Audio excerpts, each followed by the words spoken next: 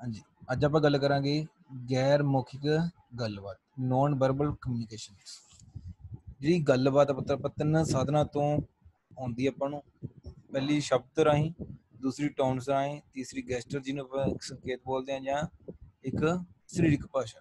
ਸ਼ਬਦ ਰਾਹੀਂ ਆਪਾਂ 7% ਗੱਲ ਕਰਦੇ ਹਾਂ ਟੋਨਸ ਰਾਹੀਂ 38% ਗੱਲ ਕਰਦੇ ਹਾਂ ਤੇ ਸੰਕੇਤ ਜਾਂ ਜੇ ਬੋਡੀ ਲੈਂਗੁਏਜ ਦੇ ਰਾਹੀਂ ਆਪਾਂ 55% ਗੱਲ ਕਰਦੇ ਹਾਂ ਜਿਹੜੀ ਨੋਨ ਵਰਬਲ ਕਮਿਊਨੀਕੇਸ਼ਨ ਹੈ, ਇਹ ਬਿਨਾ ਯੂਜ਼ ਆਫ ਵਰਡ ਆਪਾਂ with the help of pictures grammatically ਠੀਕ ਹੈ ਉਹਨਾਂ ਦੇ ਨੂੰ ਦੇਖਦੇ ਹੋਏ ਆਪਾਂ ਕੀ ਕਰਦੇ ਆਪਣਾ ਪੱਖ ਰੱਖਦੇ ਹਾਂ ਆਪਾਂ ਕੁਝ ਅੱਗੇ ਕਮਿਊਨੀਕੇਟ ਕਰਦੇ ਸੰਚਾਰ ਕਰਦੇ ਹਾਂ ਤਾਂ ਗੈਰ ਮੁਖੀ ਗੱਲਬਾਤ ਕੇ ਬੋਲੇ ਗਏ ਸ਼ਬਦਾਂ ਜਾਂ ਲਿਖਤੀ ਸੰਚਾਰ ਤੋਂ ਇਲਾਵਾ ਇੱਕ ਵਿਵਹਾਰ ਹੈ, ਜੋ ਕਿ ਇੱਕ ਮਤਲਬ ਨੂੰ ਦਰਸਾਉਂਦਾ ਹੈ। ਦੂਜੇ ਸ਼ਬਦਾਂ ਵਿੱਚ ਕਹਿ ਸਕਦੇ ਹਾਂ ਇਸ ਵਿੱਚ ਚਿਹਰੇ ਦਾ ਹਾਵ, ਭਾਵ, ਸਿਰ ਦੀ ਹਿਲਜੁਲ ਜਿਹਨੂੰ ਬੋਡੀ ਲੈਂਗੁਏਜ ਬੋਲਦੇ ਹਾਂ ਆਪਾਂ ਜਾਂ ਐਕਸਪ੍ਰੈਸ਼ਨਸ ਬੋਲਦੇ ਆਪਾਂ ਫੇਸ ਇੰਪ੍ਰੈਸ਼ਨਸ ਤੁਹਾਡੇ ਜਿਹੜੇ ਬੋਲਦੇ ਨੇ ਐਕਸਪ੍ਰੈਸ਼ਨਸ ਹੁੰਦੇ ਨੇ ਇਮੋਜ ਗੈਰ ਮੌਖਿਕ ਗੱਲਬਾਤ ਦਾ ਅਰਥ ਹੈ ਇੱਕ ਵੀ ਸ਼ਬਦ ਬੋਲੇ ਬਿਨਾ ਗੱਲਬਾਤ ਕਰਨਾ। ਬਿਨਾ ਬੋਲੇ ਤੁਸੀਂ ਗੱਲਬਾਤ ਕਰਨਾ, ਇਸ਼ਾਰੇ ਨਾਲ ਸਮਝਾਓ ਚਾਹੇ, ਠੀਕ ਹੈ। ਉਹ ਵੀ ਉਸ ਦੇ ਰਾਹੀਂ ਆਪਾਂ ਜਿਹੜੀ ਚੀਜ਼ ਸਮਝਾਉਣਾ, ਸੰਚਾਰ ਕਰਦੇ ਆ ਉਹਨੂੰ ਕੀ ਬੋਲਦੇ ਆਪਾਂ? ਨੋਨ ਵਰਬਲ ਕਮਿਊਨੀਕੇਸ਼ਨਸ ਇਹ ਬਹੁਤ ਹੀ ਜ਼ਿਆਦਾ ਪ੍ਰਭਾਵੀ ਹੁੰਦੀ ਹੈ, ਇਸ ਤੋਂ ਕਿ ਭਾਸ਼ਣ ਤੋਂ ਵੀ ਜ਼ਿਆਦਾ। ਕਿਉਂਕਿ ਜਿਹੜੀ ਚੀਜ਼ ਸਮਝਾਉਣੀ ਹੈ, ਠੀਕ ਹੈ, ਬਿਨਾ ਬੋਲੇ ਤੋਂ ਉਹ ਜ਼ਿਆਦਾ ਅੰਡਰਸਟੈਂਡੇਬਲ ਹੈ। ਸਾਈਨ ਲੈਂਗੁਏਜ ਦੀ ਤਰ੍ਹਾਂ। ਤੁਸੀਂ ਇੱਕ ਕਹਾਵਤ ਨੂੰ ਯਾਦ ਰੱਖੋਗੇ। ਤੁਸੀਂ ਜਾਣ ਕੇ ਖੁਸ਼, ਹੈਰਾਨ ਹੋਵੋਗੇ ਕਿ ਸਿਰਫ ਇਨਸਾਨ ਨਹੀਂ, ਇਸ ਤਰ੍ਹਾਂ ਦੇ ਸੰਚਾਰ ਨਾਲ ਜਵਾਬ ਨਹੀਂ ਦਿੰਦੇ। ਜੇਕਰ ਤੁਹਾਡੇ ਕੋਲ ਇੱਕ ਪਾਲਤੂ ਜਾਨਵਰ ਵੀ ਹੈ, ਖਾਸ ਕਰਕੇ ਕੁੱਤਾ, ਤਾਂ ਇਹ ਨਿਰਦੇਸ਼ਾਂ ਦੀ ਪਾਲਣਾ ਕਰ ਸਕਦਾ ਹੈ।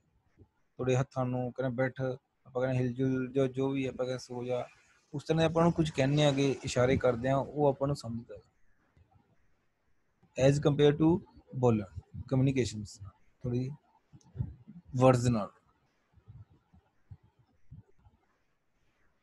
ਤਾਂ ਗੈਰ ਮੌਖਿਕ ਗੱਲਬਾਤ ਦੀ ਦੋ ਮੁੱਖ ਕਿਸਮਾਂ ਨੇ ਜੀ, ਸਰੀਰਕ ਭਾਸ਼ਾ ਤੇ ਸੰਕੇਤ। ਬੋਡੀ ਲੈਂਗੁਏਜ ਐਂਡ ਗੈਸਚਰ ਸਰੀਰਕ ਭਾਸ਼ਾ ਸਰੀਰ ਦੀ ਹਲਚਲ ਹੈ ਹਿਲਜੁਲ ਬੋਲਦੇ ਆ ਜੋ ਕਿ ਵਿਅਕਤੀ ਦੇ ਸੁਭਾਅ ਅਤੇ ਭਾਵਨਾ ਉੱਤੇ ਨਿਰਭਰ ਕਰਦੇ। ਸਰੀਰ ਭਾਸ਼ਾ ਦੇ ਵਿੱਚ ਕੀ ਹੁੰਦਾ ਜੀ? ਵਿਅਕਤੀ ਤੁਰਨ ਦਾ ਢੰਗ, ਕਿਵੇਂ ਖੜਦੇ ਨੇ, ਉਹਦੇ ਚਿਹਰੇ ਦੇ ਹਾਵ ਭਾਵਲ ਸਾਰਾ ਕੁਝ ਕੀ ਹੁੰਦਾ ਸ਼ਾਮਲ ਹੁੰਦਾ। ਇਸ ਦੇ ਵਿੱਚ ਸੰਕੇਤ ਹੁੰਦੇ ਨੇ ਜੋ ਵਿਅਕਤੀ ਦੇ ਸਰੀਰ ਦੇ ਹਿਲਜੁਲ ਵੱਲੋਂ ਕੀ ਦੱਸਿਆ ਜਾਂਦਾ ਹੈ?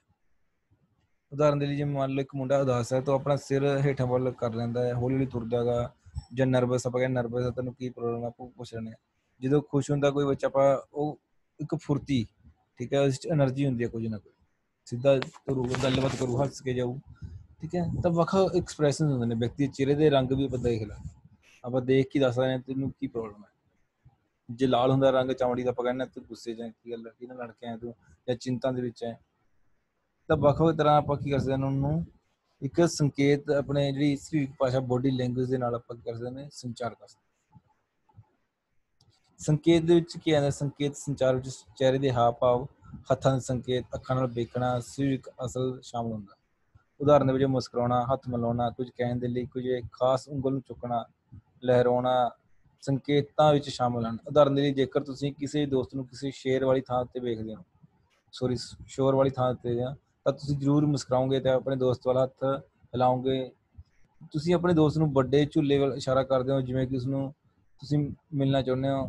ਸਾਰਾ ਕੁਝ ਬਿਨਾ ਸ਼ਬਦ ਕਹੇ ਕਰ ਸਕਦੇ ਹੋ। ਆਪਾਂ ਕਿਸੇ ਨੂੰ ਸ਼ੋਰ ਨਾ ਕਰਨ ਲਈ ਆਪਾਂ ਇੱਕ ਉਂਗਲ ਰੱਖ ਲਿਆ ਮੂੰਹ ਤੇ ਕਹਿੰਦੇ ਤਾਂ ਉਸ ਦੇ ਨਾਲ ਆਪਾਂ ਨੂੰ ਇਸ਼ਾਰਾ ਮਿਲ ਜਾਂਦਾ ਕਿ ਆਪਾਂ ਨੂੰ ਚੁੱਪ ਕਰਨ ਦੇ ਲਈ ਸੰਕੇਤ ਦਿੱਤਾ ਗਿਆ।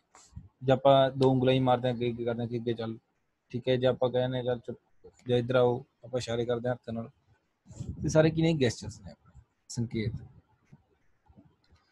ਇਸ ਦੀ ਸਭ ਤੋਂ ਇੱਕ ਹੋਰ ਵੱਡੀ ਧਾਰਾ ਹੈ, ਜੇ ਮੰਨ ਲਓ ਕ੍ਰਿਕਟ ਖੇਡ ਰਿਹਾ ਕੋਈ ਬੱਚਾ, ਤਾਂ ਇੱਕ ਕੰਪੇਅਰ ਹੁੰਦਾ ਉਹ ਆਊਟ ਵੱਖ ਇਸ਼ਾਰੇ ਕਰਦਾ ਹੱਥ ਨਾਲ। ਜਾਂ ਤੁਸੀਂ ਟ੍ਰੈਫਿਕ ਪੁਲਿਸ ਵਾਲਿਆਂ ਨੂੰ ਦੇਖਦੇ ਹੋਗੇ ਟ੍ਰੈਫਿਕ ਚੌਂਕ ਦੇ ਵਿੱਚ ਜਦੋਂ ਠੀਕ ਹੈ, ਵਾਹਨਾਂ ਨੂੰ ਕੰਟਰੋਲ ਕਰਦਾ ਜਿਹੜੇ ਆਪਣੇ ਵਹੀਕਲ ਸਾਰੇ ਉਹਨਾਂ ਨੂੰ ਕੰਟਰੋਲ ਕਰਦਾ ਹੈ ਤਾਂ ਉਹਨਾਂ ਦੇ ਲਈ ਉਹ ਕੁਝ ਇਸ਼ਾਰੇ ਕਰਦੇ ਨੇ, ਠੀਕ ਹੈ, ਆਪਣੇ ਹੱਥਾਂ ਨੂੰ ਮੂਵ ਕਰਦੇ ਨੇ ਰਾਈਟ ਸਾਈਡ ਲਈ ਜਿਹੜੀ ਵਾਰੀ ਹੈ ਜਾਂ ਲੈਫਟ ਸਾਈਡ ਇਹਨਾਂ ਦੀ ਵਾਰੀ ਹੈ ਫਰੰਟ ਤੇ ਜਾਣਾ ਜਾਂ ਬੈਕ ਤੇ, ਇਸ ਤਰ੍ਹਾਂ ਵੱਖ ਕੀ ਕਰਦੇ ਨੇ, ਸੰਕੇਤ ਦਿੰਦੇ ਨੇ। ਇਸ ਦਾ ਪਹਿਲਾ ਲਾਭ ਕੀ ਹੁੰਦਾਗਾ ਇਸ ਦੀ ਵਰਤੋਂ ਹਾਲ ਪੁੱਛਣ ਦੇ ਸ਼ੁਭ ਕਾਮਨਾਵਾਂ ਦੇਣ ਲਈ ਕੀਤੀ ਜਾਂਦੀ ਹੈ। ਇਸ ਦੇ ਲਈ ਹੱਥ ਮਿਲਾਉਣਾ, ਜੱਫੀ ਪਾਉਣਾ ਸਲੂਟ ਕਰਨਾ, ਠੀਕ ਹੈ, ਆਪਾਂ ਜਿਹੜੇ ਸਾਰੇ ਕੀ ਨੇ ਗੈਸਟਰਸ ਨੇ, ਸੰਕੇਤ।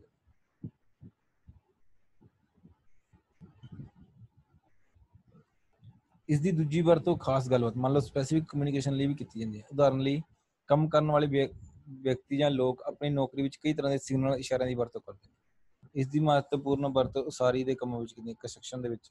ਜਦੋਂ ਕਹਿੰਦੇ ਇੱਕ ਕੰਮ ਕਰਨ ਵਾਲਾ ਵਿਅਕਤੀ ਕਰੇਨ ਦੇ ਆਪਰੇਟਰ ਨੂੰ ਕੁਝ ਕੁਝ ਸੁਰੱਖਿਅਤ ਰੱਖਣ ਲਈ ਇਸ਼ਾਰਾ ਕਰਦਾ ਤਾਂ ਇਹ ਇਸ਼ਾਰੇ ਬਹੁਤ ਹੀ ਖਾਸ ਹੁੰਦੇ ਨੇ, ਜੋ ਕਿ ਆਪਰੇਟਰ ਨੂੰ ਖੱਬੇ, ਸੱਜੇ, ਉੱਪਰ ਹੇਠਾਂ, ਉੱਪਰ ਨੂੰ ਚੱਕਣ ਲਈ ਸਹਾਇਤਾ ਜਾਂ ਇਸ਼ਾਰਾ ਕਰਦੇ ਨੇ। ਤੁਸੀਂ ਦੇਖਿਆ ਉੱਪਰ ਚੱਕ ਕੇ ਥੱਲੇ ਚੱਲ, ਆਪਾਂ ਜਾਂ ਮੰਨ ਲਓ ਗੱਡੀ ਬੈਕ ਕਰਵਾਉਣੇ ਆਪਾਂ ਹੱਥ ਮਾਰਦੇ ਨੇ ਪਿੱਛੇ ਜੇ ਹੋਰ ਲਿਆ ਹੋਰ ਲਿਆ। ਤੇ ਸਾਰੇ ਕੀ ਨੇ ਆਪਣੇ ਗੈਸਟਰ ਇਸ ਦਾ ਤੀਜਾ ਲਾਭ ਕੀ ਹੈ? ਅਨਿੱਛਕ ਵਿਚਾਰ ਪ੍ਰਗਟ ਕਰਨਾ। ਠੀਕ ਹੈ ਇਹ ਗਤੀਵਿਧੀਆਂ ਤੇ ਨਜ਼ਰੀਏ ਹੁੰਦੇ ਨੇ, ਜੋ ਇਹ ਦਿਖਾਉਂਦੇ ਨੇ ਕਿ ਲੋਕ ਕਿਵੇਂ ਮਹਿਸੂਸ ਕਰਦੇ ਨੇ।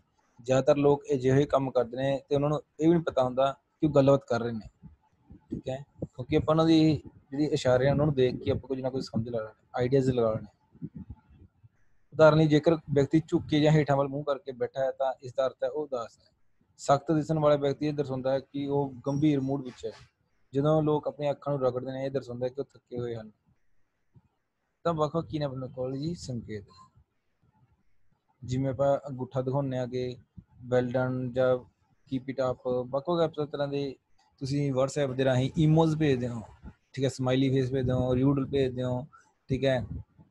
ਜਾਂ ਕੋਈ ਟੰਗਸ ਨੂੰ ਬਾਹਰ ਕੱਢ ਕੇ ਭੇਜਦਾ ਹੈ, ਜਾਂ ਆਪਾਂ ਕੇਕ ਭੇਜਦੇ ਹਾਂ, ਮੰਨ ਲਓ ਬਰਥਡੇ ਪਾਰਟੀ ਤੇ ਕੇਕਸ ਭੇਜਦੇ ਨੇ, ਆਪਾਂ ਇਸ਼ਾਰਾ ਕਰਦੇ ਨੇ ਕਿ ਹਾਂਜੀ ਕੇਕ ਭੇਜਿਆ ਤੇ। ਇਸ ਤਰ੍ਹਾਂ ਦੀ ਜਿਹੜੀ ਕਮਿਊਨੀਕੇਸ਼ਨ ਸੰਚਾਰ ਕਰਦੇ ਹਨ, ਕੀ ਬੋਲਦੇ ਆਪਾਂ ਨੌਨ ਵਰਬਲ ਕਮਿਊਨੀਕੇਸ਼ਨਸ ਗੈਰ ਮੌਖਿਕ ਸੰਚਾਰ ਵਿੱਚ ਸ਼ਾਮਲ ਹੈ ਪ੍ਰੋਕਸੀਮਿਕਸ ਕਿ ਅਸੀਂ ਕਿਵੇਂ ਆਪਣੀ ਨਿੱਜੀ ਥਾਂ ਦੀ ਵਰਤੋਂ ਕਰਦੇ ਹਾਂ, ਅੱਖਾਂ ਦੁਆਰਾ ਕਿਵੇਂ ਵੇਖਦੇ ਹਾਂ, ਚਿਹਰੇ ਹਾਵ ਭਾਵ ਕਿਵੇਂ ਹਨ, ਸੰਕੇਤ ਕਿਵੇਂ ਨੇ ਖਾਸ ਕਰਕੇ ਹੱਥਾਂ ਦੇ ਬਾਹਾਂ ਦੀ ਵਰਤੋਂ ਕਿਵੇਂ ਕਰਦੇ ਹਾਂ ਕੱਪੜੇ ਕਿਹੋ ਜਿਹੇ ਪਹਿਨਦੇ ਆ? ਪੈਰਾਲੈਂਗੁਏਜ ਆਵਾਜ਼ਾਂ ਜੋ ਅਸੀਂ ਬਣਾਉਂਦੇ ਹਾਂ ਜਿਵੇਂ ਉਫ, ਉਂ ਹੂੰ ਵੱਖ ਵੱਖ ਤਰ੍ਹਾਂ ਦੇ ਆਪਾਂ ਇੱਕ ਤਰ੍ਹਾਂ ਦੀ ਜੇ ਲੈਂਗੁਏਜ ਨੇ ਉਹਨੂੰ ਯੂਜ਼ ਕਰਦੇ ਆ। ਇਹ ਸਾਰਾ ਕੀ ਨੇ ਆਪਣੇ ਨੋਨ ਵਰਬਲ ਕਮਿਊਨੀਕੇਸ਼ਨ ਇਹ ਆਪਣੀ ਰੀਅਲ ਲਾਈਫ ਦੇ ਵਿੱਚ ਆਮ ਤੁਹਾਨੂੰ ਦੇਖਣ ਨੂੰ ਆਪਾਂ ਆਮ ਕਰਦੇ ਹਾਂ ਡੇਲੀ ਰੁਟੀਨ ਦੇ ਵਿੱਚ, ਜਿਵੇਂ ਦੇਖੋ ਗੈਰ ਮੌਖਿਕ ਸੰਕੇਤ ਨੋਨ ਵਰਬਲ ਕਿਊਜ਼ ਚਿਹਰੇ ਦੇ ਹਾਵ ਭਾਵ facial expression civic language eye contacts dress physical physical appearance gestures ਨੋ ਅਦਾਸ ਦਾ ਫੇਸ ਦੇ ਗੁੱਸਾ ਹੈਰਾਨੀ ਖੁਸ਼ੀ ਨਫ਼ਰਤ ਡਰ ਇਹ ਸਾਰੇ ਕੀ ਨੇ ਆਪਣੇ ਵੱਖ ਵੱਖ ਕੀ ਨੇ ਫੇਸ ਐਕਸਪ੍ਰੈਸ ਜਿਹੜੇ ਕਿ ਇੱਕ ਗੈਰ ਮੌਖਿਕ ਕਮਿਊਨੀਕੇਸ਼ਨ ਕਰਦੇ ਨੇ ਰਿਪਰੈਜ਼ੈਂਟ ਕਰਦੇ ਨੇ ਦਰਸਾਉਂਦੇ ਨੇ ਠੀਕ ਹੈ ਜੀ?